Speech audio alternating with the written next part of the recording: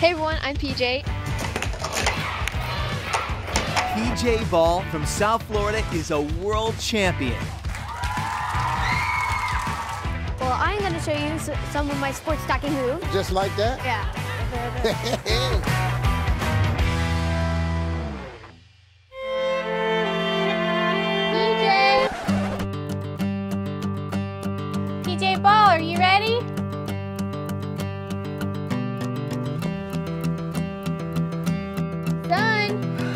Coming. Come on, it's time for school. There you are. You have to finish math before we can do our thing tonight, okay? Okay, is that positive or negative? Ah, it's negative. No, sure? no, it's positive. You just didn't put anything. you didn't put anything. I had to put something. We are the ball family, or the ball team, whatever you want to call us.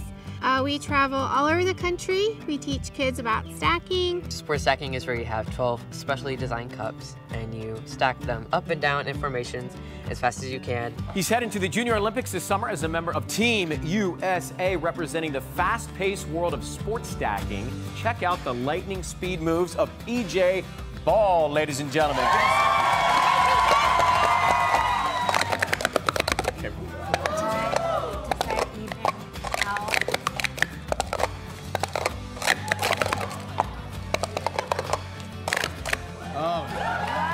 Sports stacking, it got into the Junior Olympics because it got so popular and that tons and tons of kids started to do it. It's something that they can do anywhere, anytime, any place. I guess it's more appealing because it's so flashy.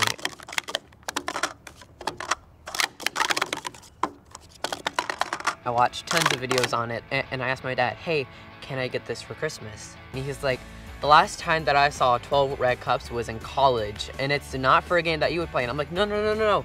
And we're like, well, okay, that's cheap. We can do that. So they were under the tree. He opened him up.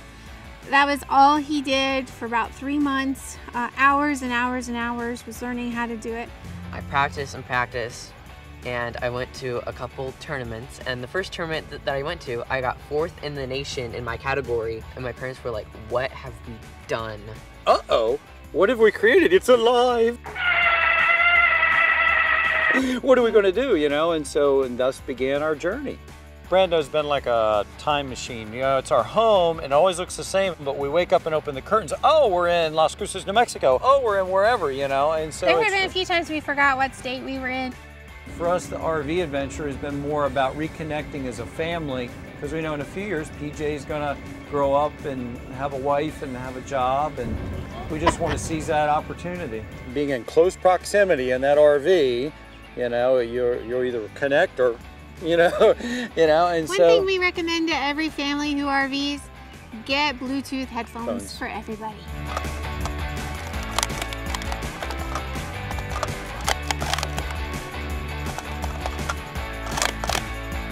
You want to have a race? Sure. okay, ready? Three, two, one. I'm in trouble. There we go.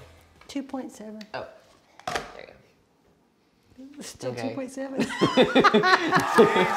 Look at him go, look at him go.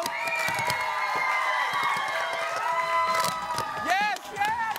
It's really much, much more than like just stacking cups. The same way as basketball is more than, than just throwing a ball in a hoop. The same way as golf is not just taking a stick and hitting a ball in a hole. is so much more than that. Like you have a community, a place where people can fit in. And, and this is even more inclusive than regular sports because people who aren't as athletic per se, they can still participate and have friends and have a community in the sport. For people who don't think it's a sport, they need to honestly give it a try. When you go to a tournament, all eyes are on you. Everything is video recorded. Everything gets played back to check and see if you were perfect. You get three tries, and that's it. So your whole nine months of training comes down to 45 seconds. The world record is 4.8 something. Uh,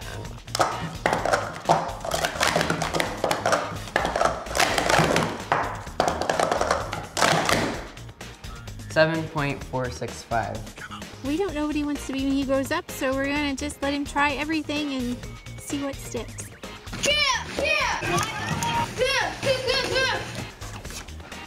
Mommy and I got together. Mm-hmm. And we went through the magnets here on the fridge mm-hmm. and then like Instagram and everything. We're trying to figure out all the places we've been the past few years. Okay. 131 places so far. The World Sports Stacking Association asked him to do a tour, go to schools and teach kids. So I wanted to experience things and get an idea of geography and history and to see people from all over the country and all over the world and how, you know, yes, we're a little bit different, but really we're a lot the same. Check this out. I'm going to do some cup stacking. That's your first set of blues. Three, two, one.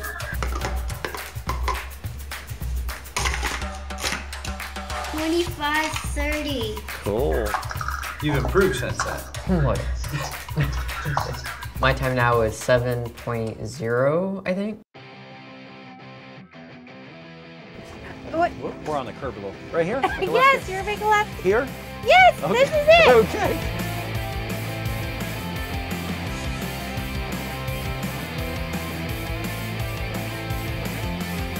PJ and I are part of Team USA Sports Stacking, and one of the things we get to do is we get to go all over the country and teach kids how to do sports stacking. So we're glad you guys could be here with us this afternoon, and we're going to show you some basic things. So one, switch hands two, one, switch hands two, one, switch hands two.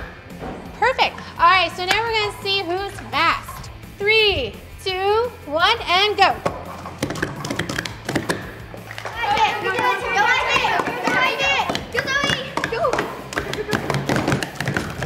I've been doing it for around five years. Practice is key. It's sort of hard though, just trying to get the hand-eye coordination. I have to get PJ's help. Very nice. I suck at this, so.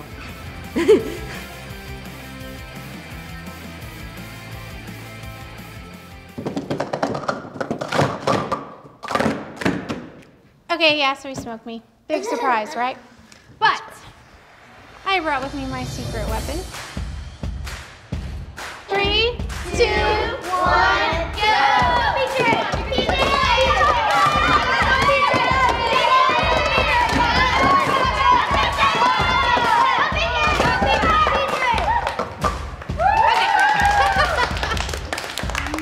is hard. Why not have some fun? So that's kind of what we want to do is infuse a little fun into everything. Anybody can afford it, and any child can do it. I don't see me stopping at any time soon.